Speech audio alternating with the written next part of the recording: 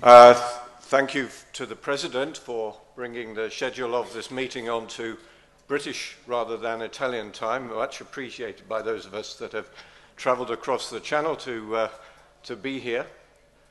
Now, what I'm going to talk to you about eventually is RNA and epigenetics. Uh, but I realize that I'm here in Italy, and so there, there's an opportunity actually to link the content of my talk with a topic that I know is considered very much here in Italy, which is opera.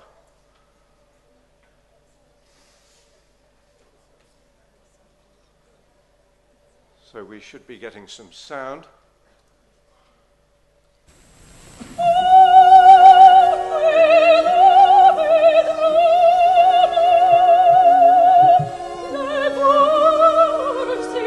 So you all know that this is Butterfly, um, and this is Butterfly singing here.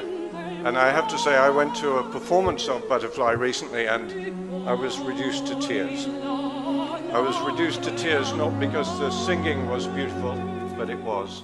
Not because I knew that there was a tragic end to the story, but there is. But I was reduced to tears because there's a feature in the plot which is incompatible with Mendelian genetics. And the part of the plot which is incompatible with Mendelian genetics, if we could turn the sound off, thank you, is um, when Butterfly makes the case that B.F. Pinkerton is the father of her child. She says, I'm Japanese, I've got dark eyes. Everybody in Japan has got dark eyes. Pinkerton has got blue eyes. My son has got blue eyes. She says, This must mean that Pinkerton is the father. But you know that if she's from Japan and everybody in Japan has dark eyes, that there's no way that a blue eyed father could produce a blue eyed child.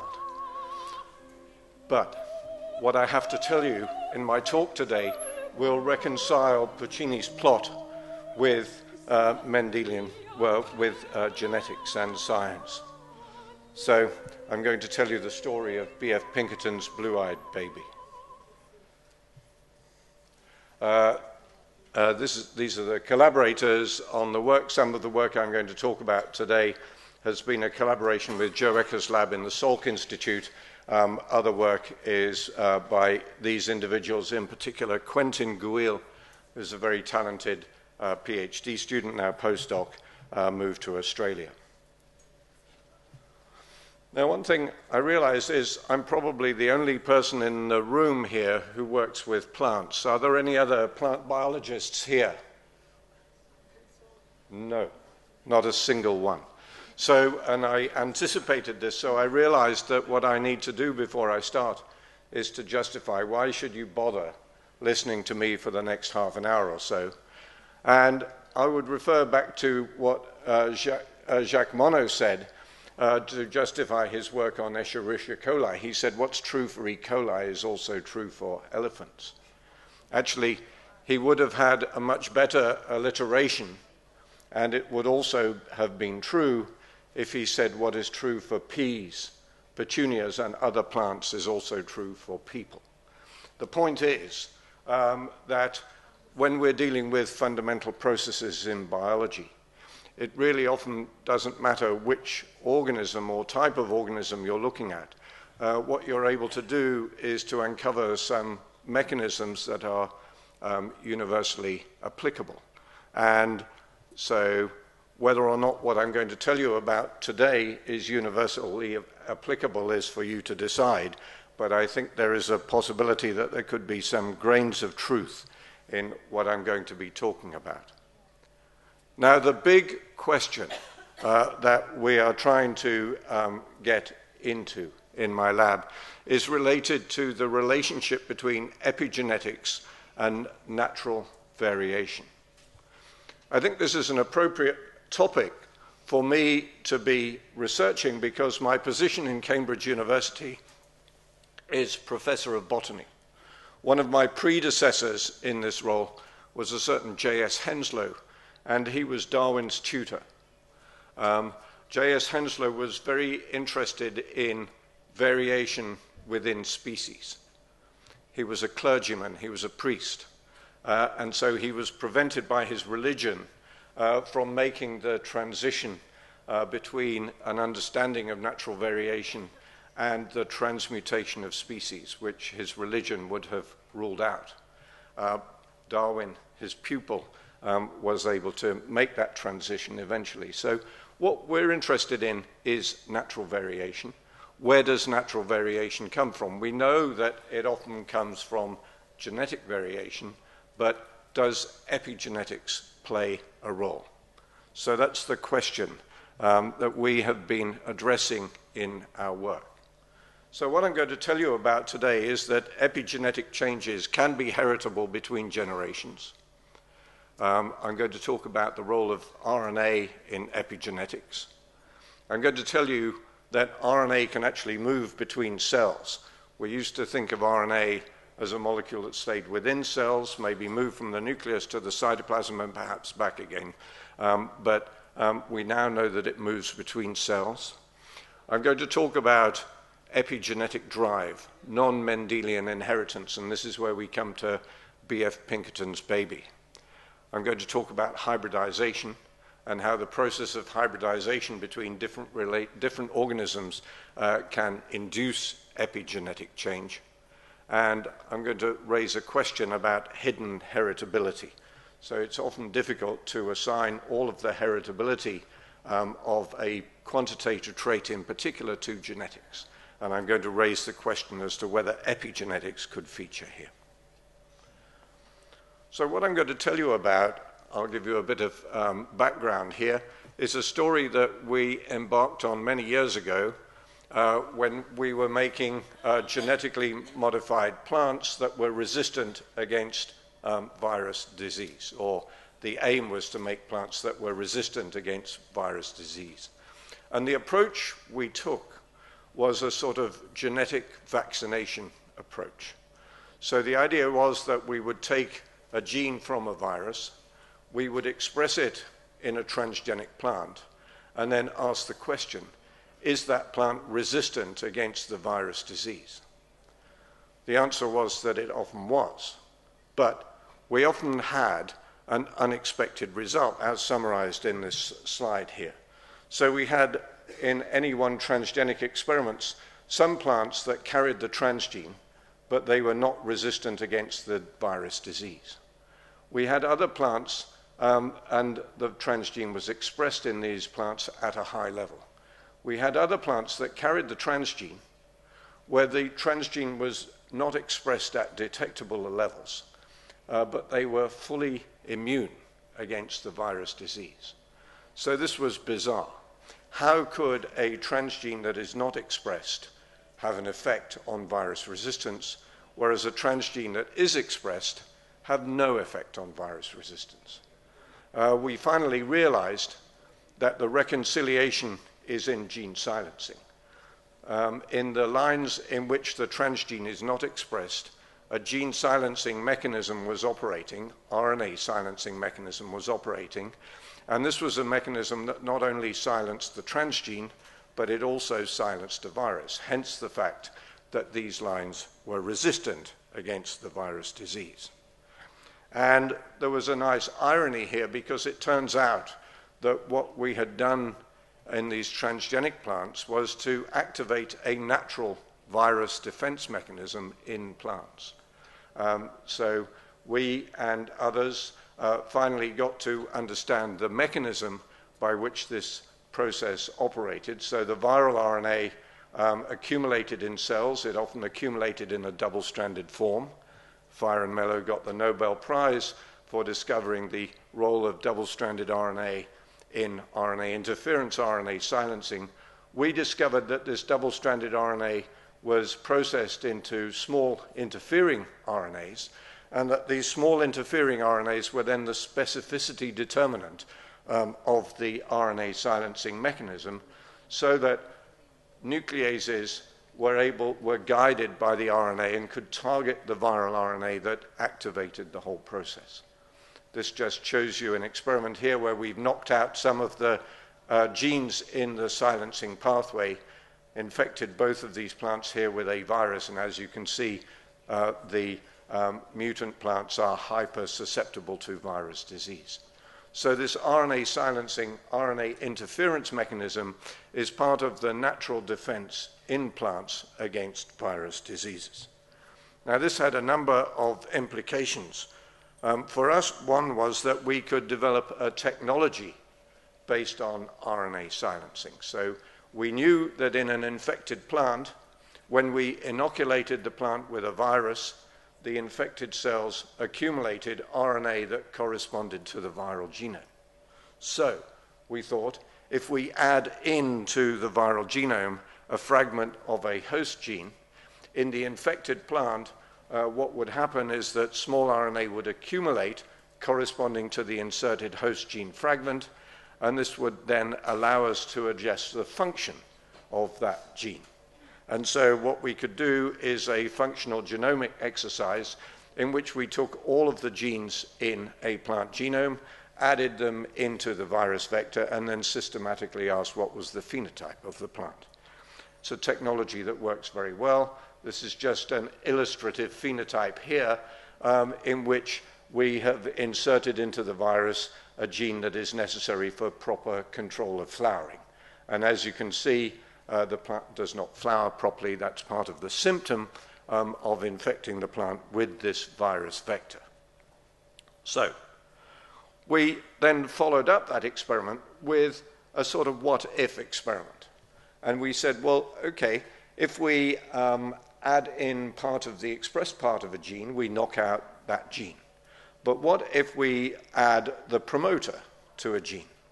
So we took some transgenic plants um, that were expressing GFP. When they were inoculated with the wild type virus, there was no effect. When we inoculated them with a virus, this is an RNA virus, when we inoculated them with an RNA virus carrying part of the GFP promoter, the GFP was silenced. So that was interesting. But what was even more interesting was that when we looked in the next generation, um, we found that in the progeny plants, although the virus was not transmitted from one generation to the next, the silencing effect was. And the DNA in the promoter uh, retained methylation. So, what this showed us was that RNA silencing, um, this together with other extensive analyses, showed us that RNA silencing could not only mediate post transcriptional effects, they could also initiate epigenetic effects that were heritable from one generation to the next. And I have to say, when we collected seed from these uh, progeny plants and saved them through several generations, the silencing effect persisted for many generations. So clearly, what we've got here is a transgenerational epigenetic effect. The silencing is induced or initiated or established by the RNA from the virus, and then it's maintained subsequently in the absence of that RNA uh, through several generations. So we followed this up, and what this has told us in plants is that the RNA silencing pathways associated with small RNA um, that we and others have um, linked with DICER proteins, with Argonaute proteins, and various others. In plants, there are many variants on this mechanism. This is facilitated by the fact that dicers and argonautes and other proteins have diversified in multi-gene families. So in plants, there are many variations on this RNA silencing system, and one of these variant pathways is associated with epigenetic modification. We've focused on this epigenetic modification pathway in recent years and now we understand quite a lot about the way that it operates, and this is largely based on studies that we've done with the model species Arabidopsis. What happens is you've got DNA here that is transcribed, it produces a transcript, and the transcript is converted into a double stranded form by an RNA dependent RNA polymerase. Um, the double stranded RNA is then chopped into small RNA by a dicer protein And that dicer protein then binds to an argonaute protein, and that argonaute binds to transcripts that are attracted, that are, are attached to the chromatin, uh, and it guides the recruitment of a DNA methyltransferase so that the cytosine residues in this DNA become methylated. Um, now, this is all, you could say, molecular biologists stamp collecting and just naming of parts. What is important about this whole process is that it has got an amplification and feedback quality to it. Um, so the polymerases that are involved in transcribing the DNA um, have attached to them proteins that bind directly or indirectly to methylated DNA. So once you've established the methylation marks, um, then the rate at which the polymerases are recruited increases. And so you get more and more of this protein, uh, of this process uh, taking place. Um, so you've got a process here with feedback and amplification. It can mediate gene silencing if the associated regions are adjacent to genes. They're often associated with transposable elements because this is part of the defense system in plants against transposable elements. Now, we had a bit of a dilemma because when we made mutant Arabidopsis, uh, in which this pathway was not active, these plants looked pretty normal. In fact, as far as I could tell, there was no perturbation of growth and development, even under stressed conditions. And so we had to say, well, you know, what's the meaning of this whole process in terms of biology? And that's then when we started thinking about hybrids or genome interactions. And remembering that this process has associated with it feedback and amplification properties, what we hypothesized was that if you brought together two genomes, um, that small RNA from one genome would find targets in the second genome that it doesn't normally have. That having found these targets, it could then initiate the cycle that I've just told you about, result in the production of secondary small RNAs, and that these secondary small RNAs could mediate silencing acting either in cis or in trans. So, um, this is the basis of a lot of our work. This is the thought, the hypothesis, if you like. We've tested this in two ways. One way is by grafting plants together. So, uh, those of you who are gardeners or horticulturalists will be aware that you can often chop plants in two and then bring them back together again, and the grafted plant will re-establish connections between the two parts and will be fully viable.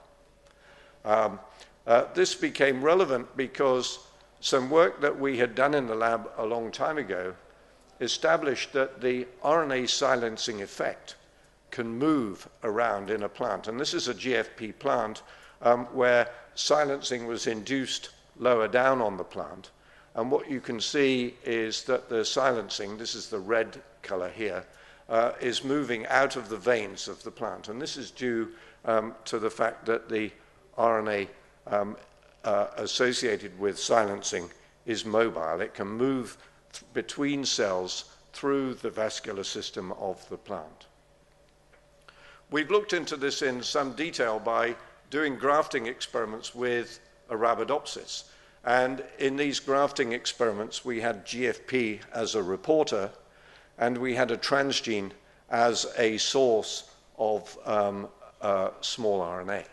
And when we looked at the plants um, in which the small RNA was not being produced, uh, then the GFP is expressed in the roots of these plants. If we graft these roots, the same genotype, um, onto shoots um, that are producing the small RNA, the GFP is lost.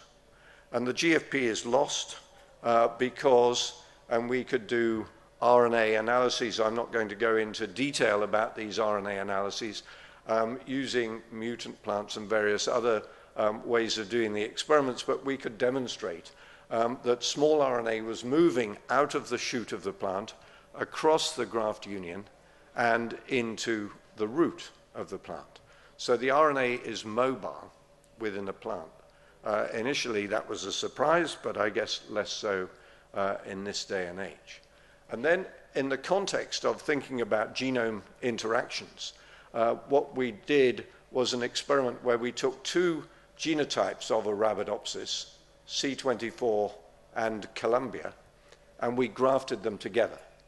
And we wanted to say, um, and we combined this then with small RNA sequencing and um, uh, uh, methylated DNA profiling using bisulfite sequencing of the genome of the grafted plants. And this just shows you at one locus um, that we're looking at here, where in C24 there's abundant small RNA and DNA methylation at this particular locus.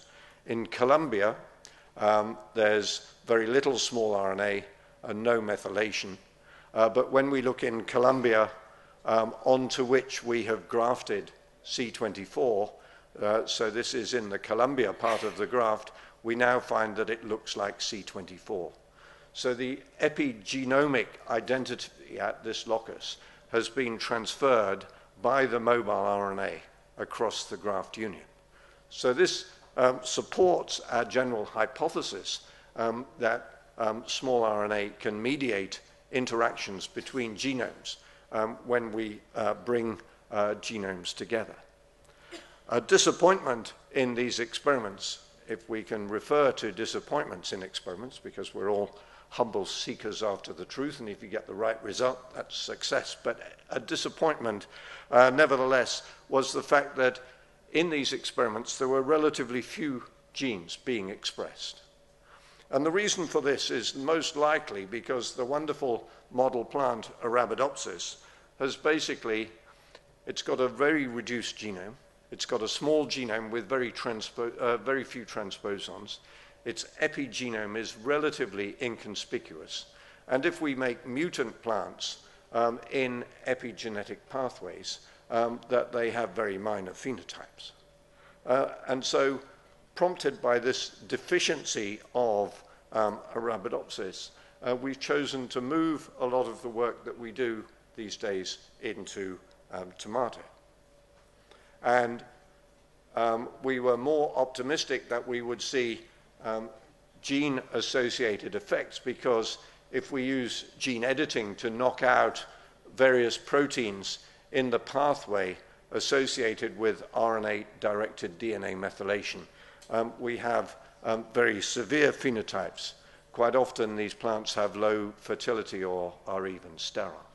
So this gave us confidence um, that there would likely be knock-on effects associated with genes um, in, um, in uh, tomato analyses.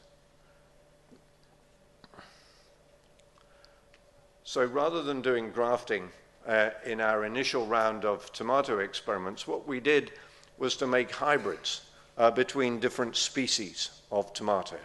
Uh, this is cultivated tomato, and in several of the slides you'll see it is labeled as M82.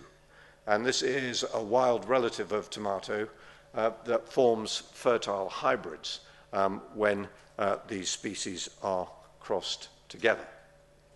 And then what we did was to just try and recall our original hypotheses, um, which was that in hybrid plants um, there should be small RNA loci and epigenetic changes um, that were absent in either of these parents. What we then did was to look in our hybrids to see whether indeed um, we could see uh, changes that were consistent with this prediction. And we did. Uh, so this just shows you the first of our, our analyses that we published some years ago, looking at the small RNAs. And in this heat map here, each of the columns is a different genotype of plant. Each of the rows across is a different locus within the genome. Uh, at the left-hand side here, we have the parents, and at the right-hand side, we've got various hybrids. In the convention of this heat map, uh, blue is expressed at a low level, red is expressed at a high level, and intermediate colors indicate intermediate expression levels. And I hope it is clear to you from this heat map um, that at many loci, um, there were changes in the hybrid that were not evident in the parents. And some of these changes are quite pronounced changes. And what I'm not showing you is that in many instances associated with these changes, there were also epigenetic differences, DNA methylation changes. Now, this brings us back to Pinkerton's blue-eyed baby, uh, because um, associated with many of these epigenetic changes, and we've published this work recently, um, we see non-Mendelian inheritance. And the non-Mendelian inheritance that we see um, resembles a phenomenon that is very well known from maize genetics. Uh, and this process is referred to as paramutation. So in the maize genetics, um, you would have a genotype of maize in which um, a gene assessed, associated with pigment production is silent. Um, in uh, another genotype, the very same gene is active and the plant is pigmented. In the F1 hybrid uh, between those two plants, the phenotype is silent. So just think blue eyes, brown eyes, F1 hybrid, blue eyes. B.F. Pinkerton could have had a blue eyed baby if his blue eyed um, eye pigmentation gene was paramutagenic. What happens in paramutation then is um, in subsequent crosses uh, with this F1 plant here um, and the purple parent, um, one can see evidence that both alleles have now become silent and they've acquired the ability to transfer their silent state onto an active allele. And so the maize geneticists refer to this, as I say, as paramutation. They refer to the pale allele as being paramutagenic and the active allele as paramutable. So once a paramutable allele is paramutated, it too becomes paramutagenic. So it's very definitely uh, resulting in non-Mendelian inheritance. And we could see this at um, our loci when we crossed, for example, a hybrid plant with the wild type tomato. You would expect in the F1 generation um, that 50% of the DNA would be active and 50% of the DNA would be uh, epigenetically silenced. And then in the F2 generation, you would expect the normal Mendelian segregation. Actually, what we see at many loci is in the F1 um, that all of the plants, all of the DNA is epigenetically modified. Similarly, in the F2, and if we do a backcross, um, rather than see the Mendelian segregation ratio, uh, we see a predominance of, um, uh, of silencing in all of the progeny. So we've got then this um, uh, paramutation-like property um, that is apparently induced uh, by hybridization. One of the loci that we're looking at in connection with this process is associated with pigmentation of the flowers. And we wanted to ask the question, is it likely that RNA is involved in this paramutation-like effect? So what we did was to take um, an RNA virus and add into it a fragment of the promoter um, of this gene. and we wanted to ask whether in the infected plants we could phenocopy um, the paramutation-like phenotype. And the answer was that we could. Um, we saw the loss of pigment, and this is a DNA methylation analysis, and we saw hypermethylation of the DNA in um, the infected plants.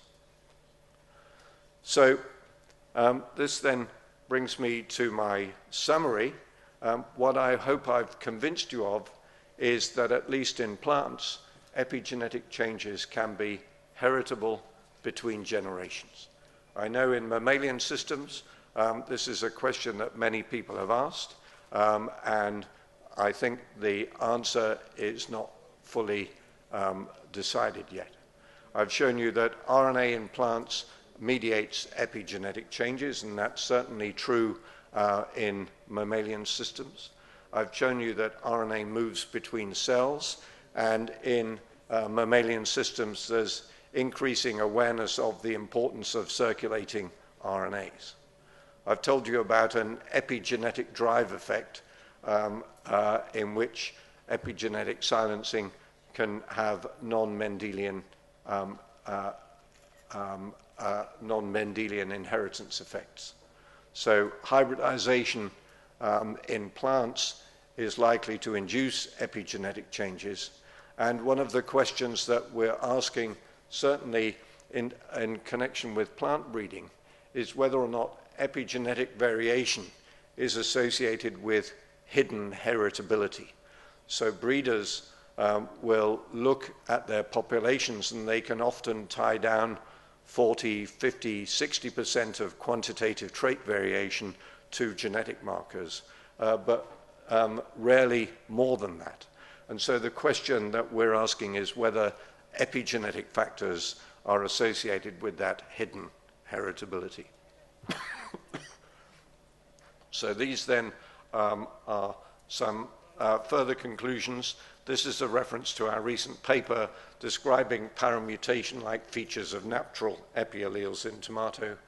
And I just close by again reminding you um, that what we learn from one type of organism is sometimes true of other organisms as well. So with that, I'll close and I'll be happy to take questions.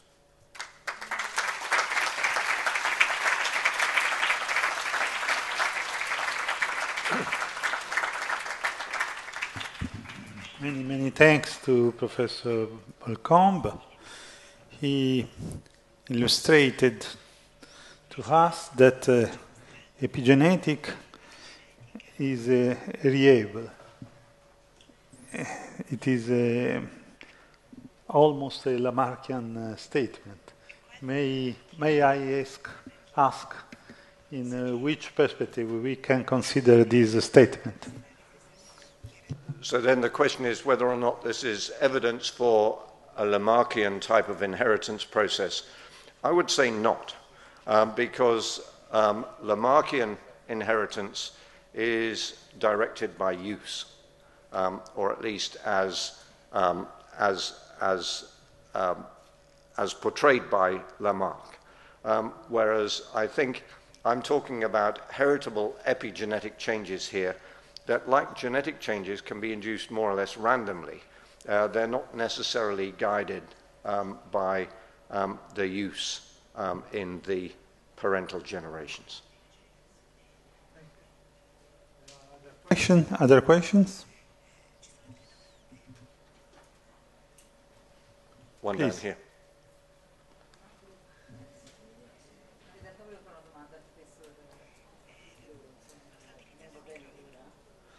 Uh, uh, prima, I, I asked before for Professor Capecchi.